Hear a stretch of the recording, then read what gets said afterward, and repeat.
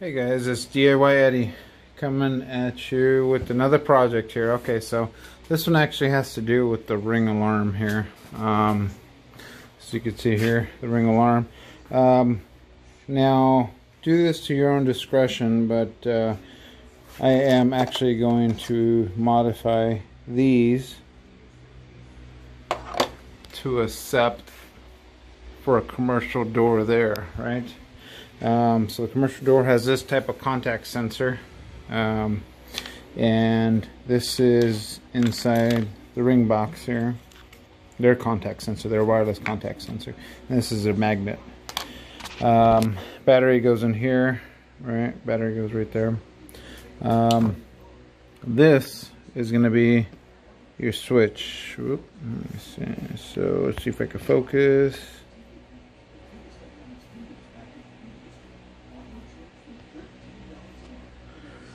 Anyways so I can't get it to focus that good. So this is your switch here okay? Come on.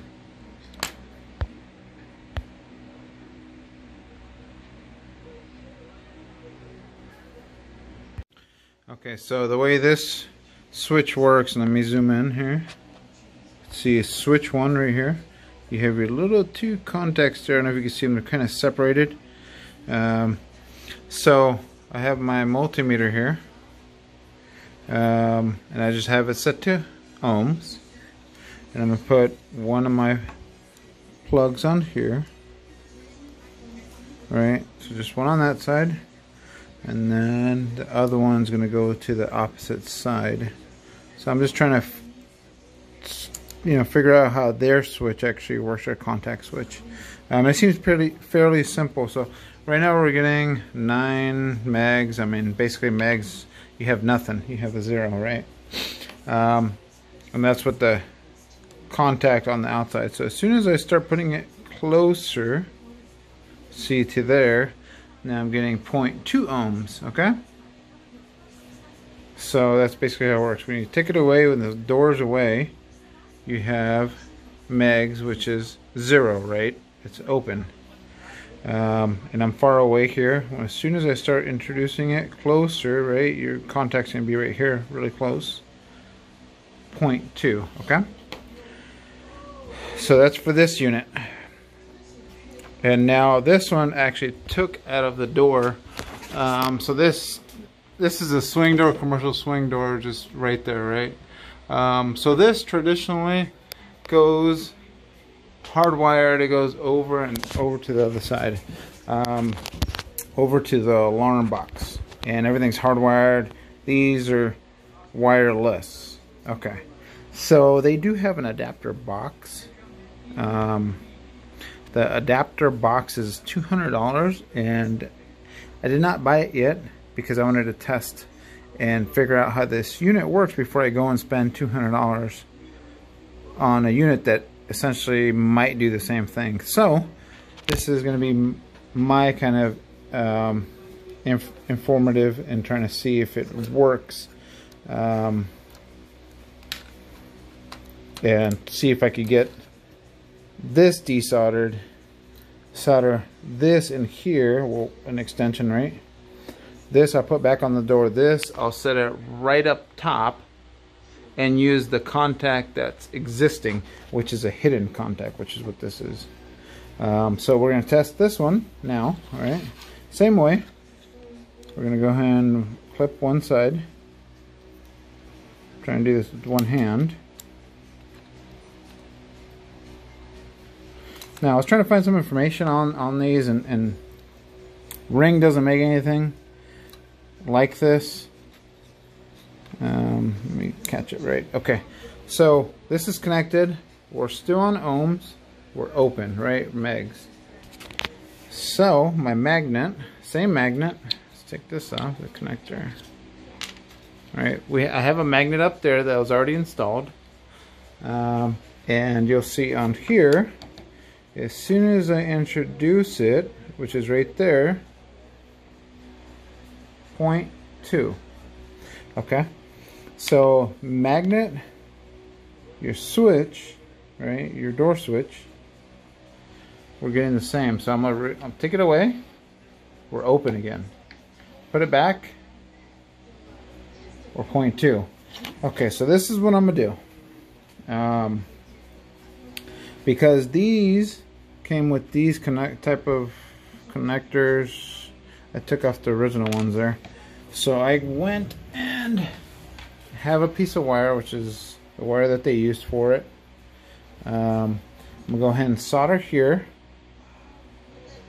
Well, actually, yes, solder here. And then pull the wire. So I'm gonna leave the unit up top, right? Up here. Up here, where it's hidden still. You can see I'm gonna leave it right there on one of these sides. Put the wire down and then the door contact will actually go where this wire is coming out of. Okay. So, like I said, do this to your own discretion. If you don't feel comfortable doing this, don't do it. But I'm always here trying to help people out. And uh, this was on sale um, for 179 at Costco. It's a 10 piece um, alarm set there. Um, so I have this. This is my first hurdle, right? And then we're gonna come out here. Excuse the mess here. And here. That's the second one, okay? So the second one's a little bit different where the sensor is down here. Let's see if I can put a light on here. Um, I have to get better light over here. So the sensor's here and the magnet's right here. Okay, then you have your wire and it comes up and bam, there it is right there. So I'm gonna have to mount, catch this sensor, catch it right there somewhere, right, and see if I could use that same mechanism, everything, and then just put the wireless sensor up there, the signal. And do the same thing where I'm gonna solder those points, take that other one off. But let's do the door first since it's the easiest. Now, the reason why I bought, um, so this is the traditional box, right? So we have the traditional box here. My, get my screwdriver out, right? So that's, that's a traditional box or your alarm box everything's hardwired, everything's there, right? And you have your your GSM module, which is a cellular, and then you have your alarm um, speaker there, backup battery. Um, so those are expensive. So let me go ahead. Um, I'm gonna go ahead and solder the wire to here, just two points, right? I'm gonna use red and black, the existing red and black. Um, and the reason I got this kit is because it comes with extra sensors. Um, I think it's like eight of them or six of them. A range extender and everything else. So if the first one doesn't work, at least I'll be able to put those back. okay, let me go ahead and do this real quick. So, like I mentioned again, I'm going to desolder these two points. I'm going to take this board off, desolder these two points, and wire put my wire at those two points. Okay, I'll be right back. Okay, so as you can see I removed it and just wired the two right to switch one, switch two. Something here, and then on back of here I just made a little hole pass the wire through. So I'm going to go ahead and close it up. Okay, that's closed up. On here, that makes a little tight. On there you could see on there, right? Okay, so I'm gonna feed this through and I'm gonna connect this one to the other side. So it's, I'm gonna go up there and go ahead and work this. Okay, so this is the second part. So this is gonna go something like that, right? And then I have my contact sensor, the one, the existing one. I just use the same connectors here. And on top of that, the door I have the magnet. So what I'm gonna do is I'm gonna pull this up and then hide the wiring All right, so I'm pull it up as much as I can see and then I got it to blink because it's looking for the contact sensor alright so give me a second let me work this in there and I'll be right back okay so I mounted it oh I'm almost gonna fall so I pushed it up and then pushed the wire into the wires in here And this is double-sided Velcro. I mean, just double-sided foam tape here at the bottom. You see it's blinking. It's waiting for a response for from that. I'm gonna hide this wire. I'm just gonna shove it back in here. Right? Because I don't need it. And whenever they install again, or whoever comes next after me, will see this wire, right? And at least know that they have wire that goes to the box. Um, so a lot of the stuff's temporary here at the warehouse, so let's see if it makes contact. Let's see. See the contacts right there and the magnets right under it. So, that's the magnet there. So let me go ahead and check my app. Okay, so one thing I found out if you do get a tamper alarm, um, this little micro switch right there, you can see it right there, it says SW3, which is this one right here. You just have to make sure the inside here is touching that down or else it says that the unit's been tampered with. Um, so I got that one. It took me a little bit. I had to put tape around the connections inside uh, because in here ended up um, just nicking a little bit of the insulation. Uh, so that's there. And then let me go ahead and open it so you could hear. You could hear when so so it's ringing right? It's ringing and then I have my this right here. I need to mount this still. But it works. So people ask do you need that one um, retrofit kit? And the answer for me I'm not a professional alarm installer. Um, so if you don't feel you know comfortable you don't feel comfortable doing this, don't do it. If you don't not feel comfortable with the soldering iron, don't do it. Um, but it is possible because I'll very faint, but um, it works and it signals whenever this door is open. So that's how I'm gonna do this one, and I'm gonna go ahead and work on this one. So this one's gonna be for the garage door. Um, I mean the warehouse door. I'm sorry.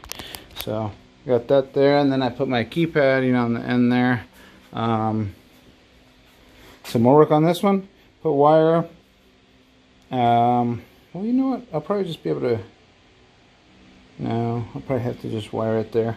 Um, so I'll probably wire my cable and then put wire uh, nuts on the other side so I'll cut the cable over there where you saw earlier uh, because I don't have my soldering iron to connect it direct there. So I'm just to make a little jumper here. And then one thing I did find out is whenever I put this wire, um, so I don't have the wire with me, how I made that hole over here, um, it's kind of hard to close the cover. So maybe, I don't know, maybe if we could find a different way to put the wire through. Um, so this just sits over there because you have the little guy, the, the D right there. Matches the D there. Um, and I was even thinking about going this way forward, but we have the hole here, maybe right here. Um, or maybe even up here. Just pass it through here, make a little hole which would be direct right here.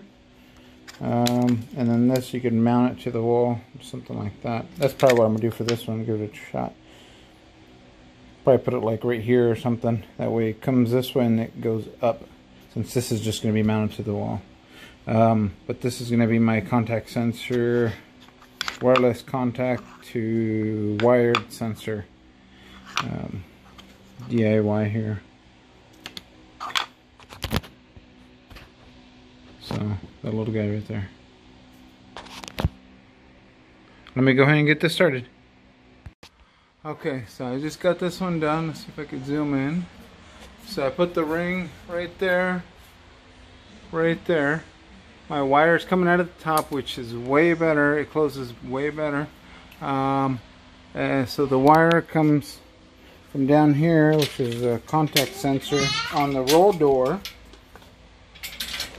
And the top is the magnet, the bottom is the sensor. I checked the wire black and red, same as the other one. And we're good. Now every time I open the, you can't really hear it because the garage door. See, but it blinks. But at least that gives me a signal on my phone and on the unit if anyone opens this roll door. And those are the two main ones. I didn't need a whole 10, 15 because this only really has two entry points. And I'll put the motion sensor, but two of them, two out of two. If this helps you, please give me a like, thumbs up, subscribe. I'll be doing more stuff. I know here I'm gonna put more I'm put more lights on here. I only have this bar strip. I'll move that, move that. I'm put lights here, a big fan, and then more lights that way. Thank you and have a wonderful weekend.